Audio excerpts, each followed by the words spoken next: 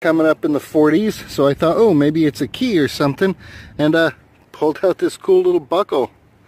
Yeah, probably nothing too seriously old, but uh, still cool. Like finding buckles, man. All right, going into